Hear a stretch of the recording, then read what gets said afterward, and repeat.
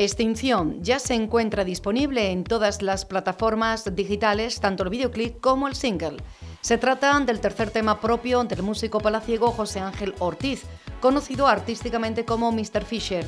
Una vez más, la producción ha corrido a cargo de Alejandro Vigil.